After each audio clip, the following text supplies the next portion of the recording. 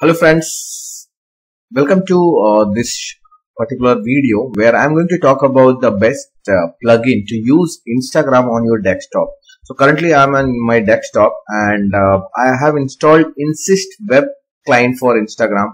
So this is like one of the uh, plugin which I use um, in Chrome to post stories, um, sorry, reels and uh, IGTV videos and all those segments here. So let me show you how.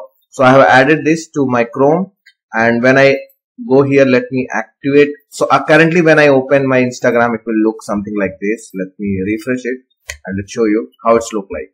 So it will look like something like this. So there is no option of publishing and it will be showing the, all the content which is coming here. So once I go and up, uh, open this extension on, I will on this extension, this will extension will come like this then I will come here and I can just refresh this content.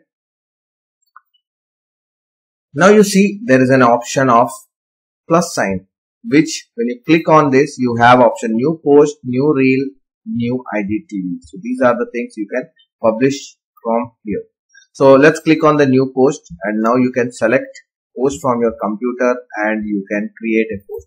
So click on the select from computer and you need to just select the images which you wanted to post and that will be updated here.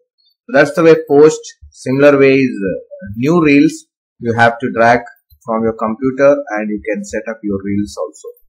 So that's the reel segment. Third one is IGTV video. You can put your IGTV videos also like the similar way how we did it.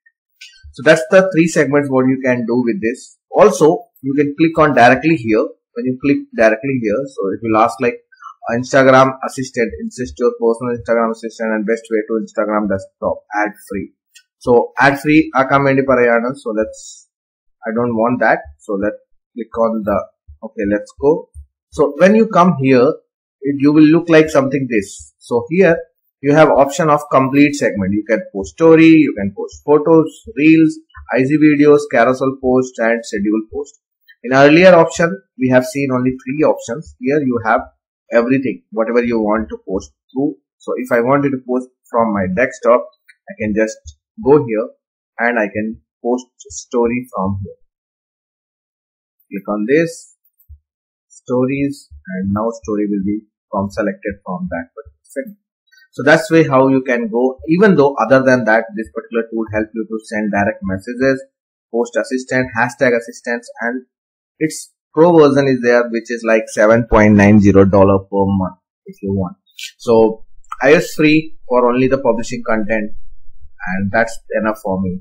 So check out this tool this plugin and the name is inssist web client for instagram. And you can see that 3 lakhs plus users are there for this particular tool.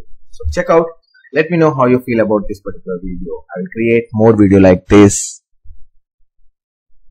that's it for today. See you guys in next video. Till then, keep learning, keep coming. Bye bye.